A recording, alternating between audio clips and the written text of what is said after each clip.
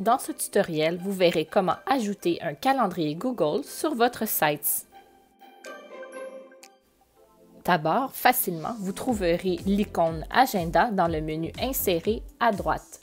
S'afficheront ensuite tous vos agendas Google, dont ceux de votre Google Classroom.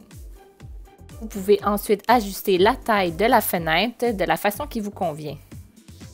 En aperçu, vous pourrez voir que les gens pourront afficher le mois ou la semaine pour voir l'intérieur du calendrier. Si vous le désirez, vous pouvez aussi créer un tout nouveau calendrier Google spécifique à votre site. Dans Google Agenda ou bien sur calendar.google.com, vous trouverez Autre agenda à gauche avec un petit plus. Vous pesez dessus, puis sur Créer un agenda. Par la suite, nommez tout simplement l'agenda en y ajoutant, si vous le désirez, une description, puis sur le bouton Créer l'agenda.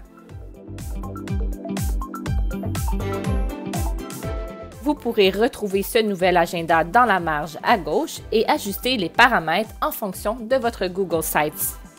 Si le but de votre agenda est uniquement de le partager avec vos élèves, vous pouvez tout simplement le rendre visible pour le CSMB, mais n'oubliez pas d'afficher les détails d'événements pour éviter que ce soit simplement écrit occupé. Si vous désirez que cet agenda soit partagé aussi avec les parents, il faudra cocher Rendre disponible publiquement. Et de la même façon, on veut afficher les détails des événements. Ajoutons un événement à ce calendrier pour voir le rendu visuel sur le Google Sites.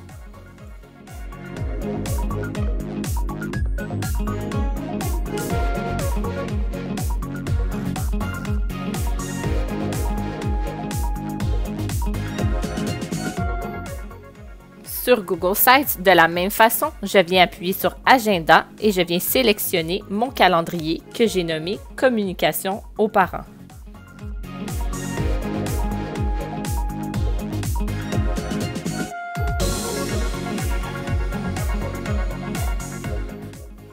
Les parents pourront donc afficher la semaine et le mois et même ajouter dans leur calendrier différents événements.